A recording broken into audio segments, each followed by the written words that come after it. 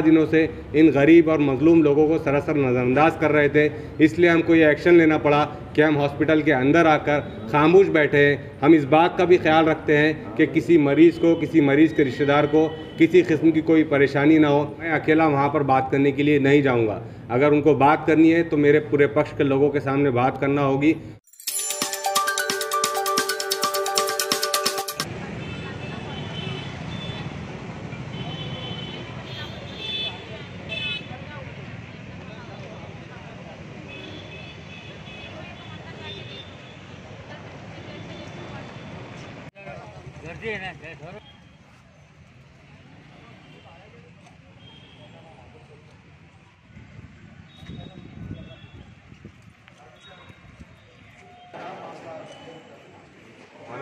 शहर सदर बोल रहा हूँ इमाम के सारे यहाँ यहाँ के रिस्पॉन्सिबल कौन है? डॉक्टर सूर्यवंशी के अलावा और कौन है? गोल्फ कोर्स से रिलेटेड बात करने की थी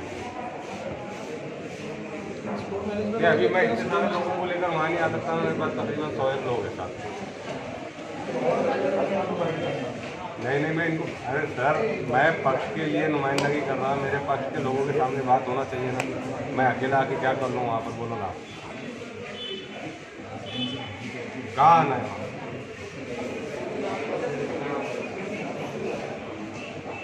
एम एम के इंजीनियरिंग में। किधर है एम के इंजीनियरिंग लोग यहाँ बैठ जा रहे हैं नीचे।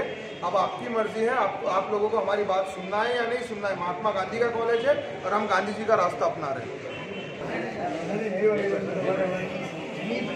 बड़े गाँव में एमजीएम गोल्फ कोर्स जो बनाया गया है, वो चारों तरफ़ से खुला है। वहाँ पर जगह जगह तालाब बनाए गए पौंड बनाए गए हैं।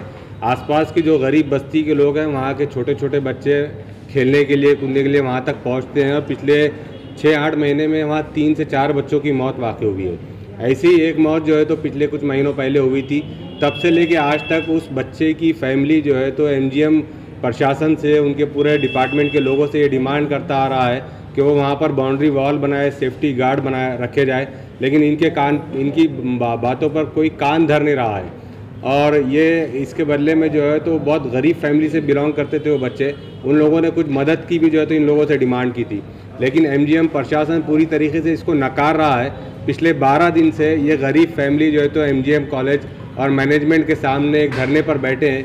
इनके बड़े से बड़े प्रशासकीय अधिकारी यहाँ से रोज़ आते हैं और जाते हैं, लेकिन 12 दिन में किसी को ये बात की फुर्सत नहीं हुई कि वो इन लोगों का हाल पूछे कि आखिर आप क्यों बैठे हैं। तो ये सरासर ऐसे है कि रईस लोगों के खेल के लिए, अमीर ज़ादों के खेल के लिए मासूम बच्चों को निशाना बनाना और मासूम बच्चे उनके बॉल उठाकर लाना, गरीब बच्चे उनके बॉल उठाकर लाना तो ये कहीं ना कहीं एक तरह का जुल्म है।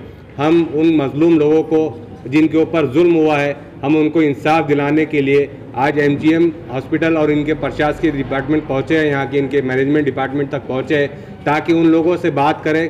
वहाँ पर कोई ना कोई ऐसा इनको इनको इंसाफ दिलाए इस फैमिली को इंसाफ दिलाए और आगे ऐसा कोई हादसा ना हो, इसके लिए क्या प्रिकॉशंस लिए जा सकते हैं, क्या एहतियाती तदाबीर लिए जा सकते हैं, इसका एश्योरेंस हम एमजीएम मैनेजमेंट से लेना चाहते हैं। इसीलिए यहाँ पर हम अहिंसा के तर्ज पर खामोश बैठे हैं ताकि मैनेजमेंट के लोग अब हम हॉस्पिटल के अंदर आने के बाद जाग जाए और हमसे कुछ बात करने की इनको सूझ सके। इससे पहले ये 12 दिनों से इन गरीब और मजलूम लोगों को सरासर नज़रअंदाज कर रहे थे, इसलिए हमको ये एक्शन लेना पड़ा कि हम हॉस्पिटल के अंदर आकर खामोश बैठे हैं। हम इस बात का भी ख्याल रखते हैं कि किसी मरीज़ को, किसी मरीज़ के रिश्तेदार को किसी किस्म की कोई परेशानी ना हो, इसीलिए हम खामोशी से यहाँ अपना विरोध जता रहे हैं। अभी प्रशासन को, प्रशासन हमसे कह रहा था कि अकेले में आके बात करें, मुझसे कह रहा था, लेकिन मैंने कहा कि नहीं, मैं पूरे पक्ष के लोगों के सामने और इस फैमिली के सामने उनसे बात करूँगा। इसीलिए मैंने उनसे उन्हें यहाँ बुलाया है। हम लोग, मैं अकेला वहाँ पर बात करने के लिए नहीं जाऊँगा। अगर उनको बात करनी है तो मेरे पूरे पक्ष के लोगों के सामने बात करना होगी। इस फैमिली को एश्योर करना होगा और आने वाले दिनों में वहाँ पर क्या प्रिकॉशन लिए जा सकते हैं, उस सिलसिले में हमको तहरीरन यानी रिटर्न में हमको एश्योर एश्योरेंस देना होगा। हम इंतज़ार कर रहे हैं रिस्पॉन्सिबल आदमी है ना उसको लाके बिठाओ आप करो इसलिए कि आपकी सिचुएशन है नहीं। तो हमको आपसे बात करके फ़ायदा नहीं उनको उनकी ड्यूटी करने दो आप कोई जो भी हायर अथॉरिटी उससे हमको मिला। हम चाहते हैं कि बारह दिन से यहाँ लोग बैठे और उनकी बात होनी चाहिए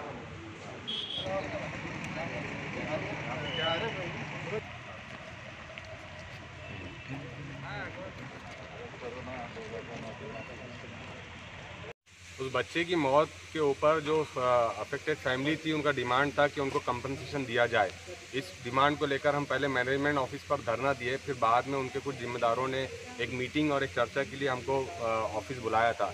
वहाँ हमने उस बच्चे के पेरेंट्स के साथ मिलकर उनके ऑफिसर से बात की और उनकी जो भी डिमांड है फैमिली की, वो उन तक पहुँचाने की कोशिश की और उन्होंने कहा कि दो दिन का हमें वक्त दिया जाए। दो दिन के अंदर अंदर जो है तो उस बच्चे को कैसे कंपनसेट किया जाए, उस फैमिली की कैसी मदद की जाए, इस पर चर्चा एमजीएम मैनेजमेंट करेगा और सैटरडे के दिन जो है तो हम लोगों को इन्फॉर्म करेगा। हम उम्मीद करते हैं कि उस फैमिली को कुछ ना कुछ इंसाफ मिलेगा। जैसे ही ये खबर मजलिस इतिहादुलमसलिमिन को मिली मजलिस इतिहादुलमसलिमिन के तमाम यूनिट के जिम्मेदारान एक्टिव हो गए। और आज सुबह से जो है तो धरने पर बैठे थे। अभी अभी हमारी चर्चा ख़त्म हुई है और अभी दो दिन के वक्त के बाद फिर से एक मरतबा हम यहाँ पर आएँगे और कोशिश करेंगे कि उस फैमिली को इंसाफ मिले। इसलिए कि मजलिस इतिहादुलमसलिमिन हमेशा मजलूमों का साथ देने के लिए आगे रही है। पिछले 12 दिनों से वो फैमिली यहाँ पर उपोषण पर बैठी थी, लेकिन किसी राजनीतिक पक्ष को जो है तो उनकी खबर लेने की फुर्सत नहीं हुई। हम उम्मीद करते हैं कि दो दिन बाद फिर बैठेंगे और उस फैमिली को कुछ ना कुछ इंसाफ दिलाने के लिए ज़रूर कुछ ना कुछ करेंगे। शुक्रिया।